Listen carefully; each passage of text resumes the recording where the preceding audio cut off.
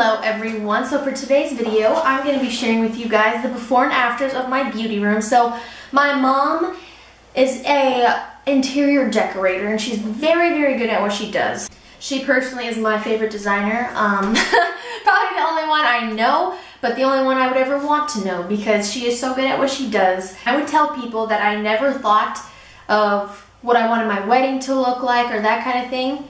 They would freak out, but I'm like, guys, have you met my mom? She, let me give you a little scenario. She could take the inside of a giant dumpster and turn it into magic. Don't ask me how. I don't know how. I've always been there just to like kind of like, you know, hold stuff up and help out. But she just has the vision. And some people just got it, man, you know? And I'm okay with that, you know? I'm blessed to be related to her. So I had a few ideas, nothing too crazy, but I always come in with just a few ideas and then she just takes off with it. And so what's gonna happen is I'm gonna show you guys a little bit of before and afters. You guys will see the whole entire room in the video. And I also asked her to answer any questions that you guys would have. So if you guys do have any questions for her, if you're in this stage of your life where you're kind of just redoing something in your house or wanting to or, you know, inspired, then just leave a question down below and there will be another video or maybe we'll go Facebook Live and just answer all your questions. So I'll keep you guys posted on that. And if you, again, have not followed me on Snapchat or even Instagram, then do so, alright? Well, let's get on with the video. Alright, so here is the room before the remodel. As you can see, it's super basic, super not a cool color, so just wait. That's a closet, it's a door. It's not a bad color, but it's not my style, so keep watching. Don't forget to mask your floors.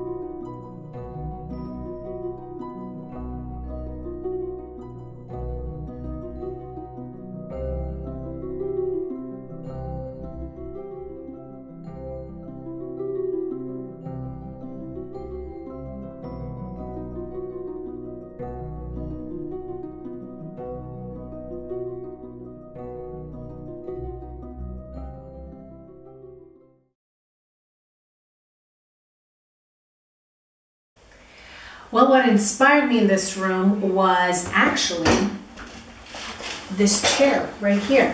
I found it at TJ Maxx and I love the gold. And so I thought, we're gonna have that blue, this dark blue. Um, we need something that'll make it look bright and liven it up a little bit. So this chair was my inspirational piece. And I think every time I've done parties or rooms or I needed one piece that would just like, okay, this is this is the one that is going to speak into the whole room. So we wanted the room not to feel like a bedroom. And so this is a cool way and idea, and I'm sure you guys have seen this done before. We just took off the door, um, painted the inside. I've even sprinkled, I mean, sprayed some uh, glitter, put shelves, and this is a great way to store also. And you can add more shelving if, if your closet is bigger or whatever and uh, do more with it. So this is Jacq Hammer's um, studio. So uh, what would she like? And she definitely wanted something that would look awesome on camera and would actually um, look classy. And um, so this blue, um, was, it's called Loyal Blue Sherwin-Williams. And um, at first, you know, they were taken back because it looks too dark. But in this is a small space, and sometimes it gives it depth. And so I really like to um, challenge myself when it comes to colors. And I think when you're doing, or any one of you guys decide, hey, this is the way I'm going to go, don't be shy. Um, worst case that can happen when it comes to paint is um, you change it up. You just change it right back to the way it was or change it to something else. Paint is one of those things that um, you can, it, it's forgiving. Um, anyway, um, uh, knowing accent pieces um, is also key. You don't want too much, but you don't want to under accessorize because then it looks like it's not finished.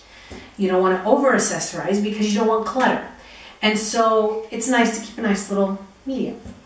Um, as far as the accessories, you do not have to go expensive. Don't go spending your budget and blowing it on stuff. And I know a lot of you guys out there are smart and know about, you know, flea markets and boutiques and vintage shops and um, places like TJ Maxx and Ross and Marshalls and uh, down east and all kinds of those places are really cool places to find those pieces that um, bring a lot to your to your theme, but it also um, it doesn't break the bank.